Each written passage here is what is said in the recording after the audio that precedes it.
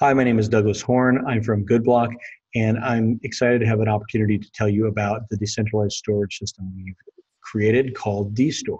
dStor is truly revolutionary decentralized storage, uh, and I hope to explain to you in the next few minutes why that is. It really comes as no surprise to anyone today that cloud storage absolutely dominates computing. One measure says that 72% of global organizations will migrate from on premises data centers to cloud storage in just the next three years. And we've seen since 2017, when cloud storage really started gaining traction, it was worth about $30 billion a year uh, by 2023, that's expected to be over $100 billion a year. So it's radical growth. And we're all aware of this, right? Because everything is moving to the cloud. But cloud computing is operated by centralized companies, and uh, just a few dominate the industry Amazon, Google, Microsoft. These servers do go down on occasion, and when they do, it takes with them any service or files that they host. While global outages are rare, regional outages are relatively common. Also, these services are easily blocked by repressive governments. Cloud computing also requires users to trust the companies hosting their files not to change or delete them. I know that seems ludicrous, but frankly, you're really just trusting these files to the companies who are running. Uh, it would be very difficult to detect altered files on centralized cloud hosting. And in fact, we know that this happens from time to time. Decentralized file storage offers a solution where trusting the hosting company is not required. There's no longer that single point of failure. Costs can also be reduced. However, solutions to date, such as IPFS, which stands for Interplanetary File System, suffer from slow access times and there's a risk of file impermanence. Some of the problems with IPFS are that there's no clear directory for where a given file is hosted within the mesh of storage node operators. So a user's computer may be searching several servers until they find the file that they need. IPFS doesn't have any real incentive for node operators to run higher infrastructure, and that contributes to these speed problems. IPFS also doesn't handle forward replication of files, meaning that they can disappear from the system. We call this the file permanence problem. Also, many IPFS solutions must use a specific cryptocurrency token housed on its own specific blockchain and this is a UX problem for many. dStor is a way to combine the best of both worlds between centralized storage and IPFS.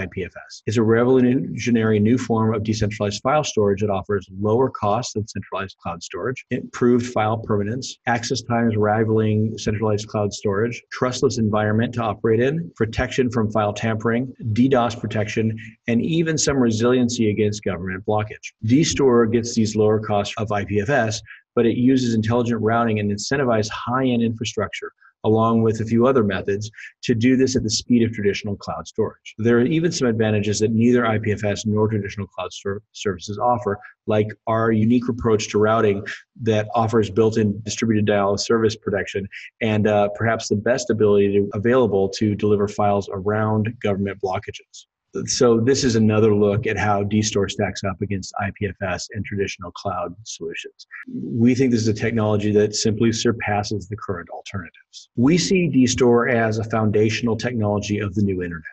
Each of these elements is going to be crucial. Trustlessness, tamper-proof files, high-speed delivery, high data persistence, resiliency against DDoS, and increasingly in today's world, resiliency against government censorship. Only dStor is able to deliver this.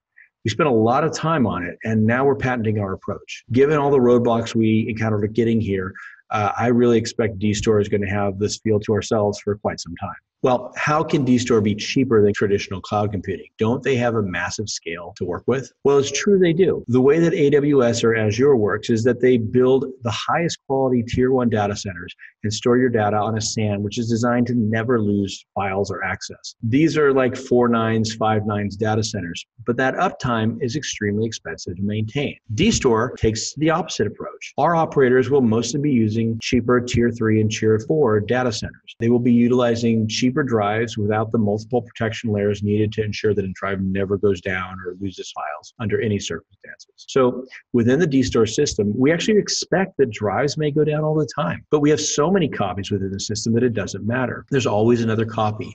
And when files are served, they're often copied onto new servers in the process, ensuring that data permanence. IPFS takes a similar approach, which is why they can offer cheap storage, but they don't incentivize faster infrastructure through more pay, and they also don't use the forward replication of files that we use, which makes the situation so that sometimes data just disappears on an IPFS system. Another advantage of this approach is greater geographic diversity. The best practices for AWS recommend storing data in two different regions for geographic diversity. But dStor goes way farther. We're storing data in numerous regions around the world. That first reduces latency times, but it also protects against cataclysmic loss. Through dStor's unique approach, for which again we're applying for a patent, to a balancing requests, directing requests, and distributing files with forward replication, dStor can rival the access speeds of traditional cloud storage providers. Unlike traditional cloud storage provider, no single entity controls the operations of dStor. No one organization can shut off operations or access. Like IPFS, dStor files are accessed through a file hash, which is a resource locator, which is the result of hashing the file's actual data. So the file name or resource locator for all the data is unique, as unique as a Bitcoin private key. If you change just one character in a file, you'll have a totally different file hash will not be found using the previous version of the file. In fact, the previous version will be found. So there's absolutely certainty that any given file is identical to the one that was originally stored. This is not something that can be guaranteed by centralized cloud service providers. Files cannot be changed without changing the file hash. Files also can't be discovered accidentally any easier than, say, a Bitcoin private key can be discovered. The numbers are just vast. So that is to say, they simply can't be discovered without having that resource locator. Now, dStor can store files of any size, and the system's capacity can grow to any size with no upper limit. We recently live demoed on viewers' own devices in Silicon Valley at a conference the other day, uh, a few weeks ago.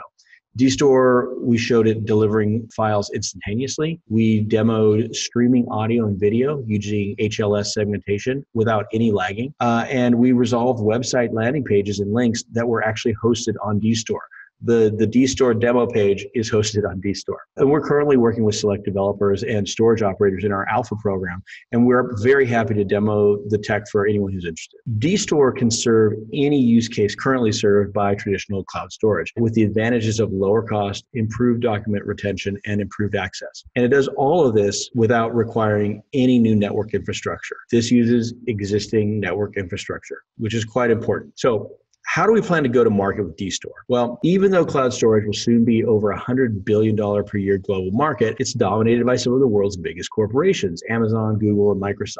Even with our very clear advantages, it would be wise for us to find a market niche where dStor could absolutely shine without the competition and then build from there. The most accessible initial market is with decentralized applications and blockchain technology. We can easily address this market. We are developers in this world ourselves already. We know that blockchain dApps have an absolute need as it goes straight to their mission, this decentralization and currently no suitable alternative exists. So far, users have actually given dApps a bit of a pass for not using decentralized storage, but only because no viable solutions are around. But dStor changes that, and it will no longer be acceptable soon for dApps to store on AWS. dApps are going to need to go to decentralized storage. Addressing this niche will give dStor an opportunity to gain traction as it markets itself to take market share from the big guys in the larger markets like small and medium sized businesses, enterprise, government, and more. We are aware that it's going to take some time for the general market to embrace the value of decentralization as the blockchain market and dApp market does. Decentralized applications seek to revolutionize multiple industries from finance to logistics to gaming. Decentralized apps remove central control from applications using distributed ledger technology to create trustless execution of autonomous smart contracts.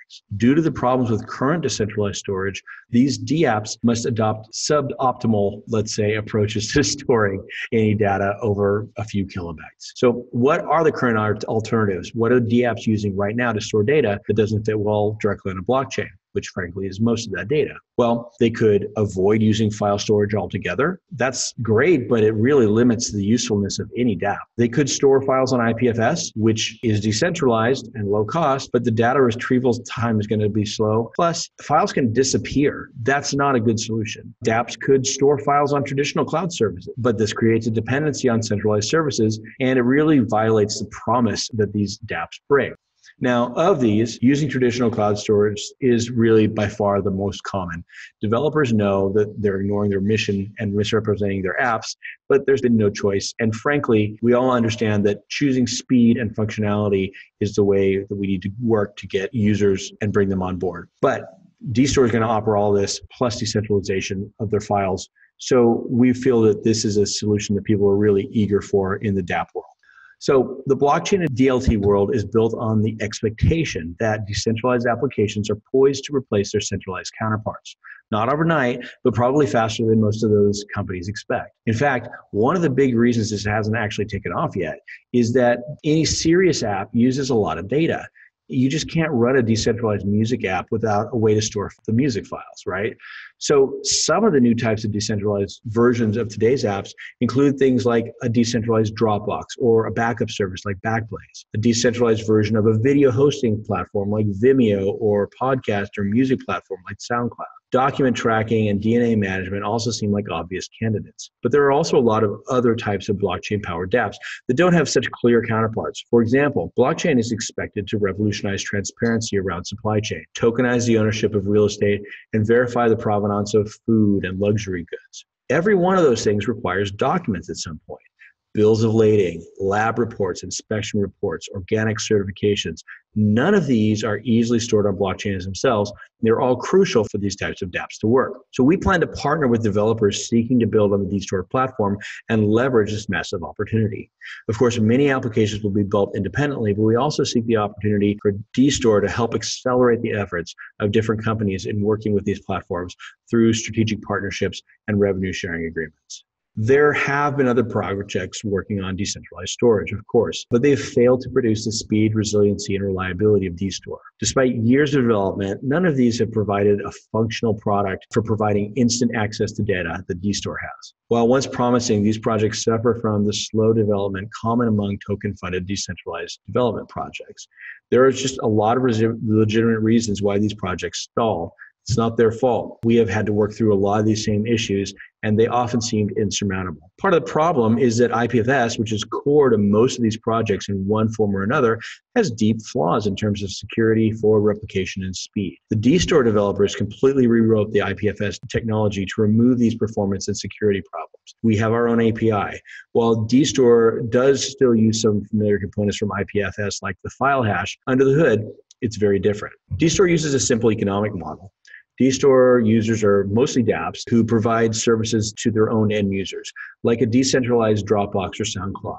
Their use, end users don't really want to know the details about how those files are stored.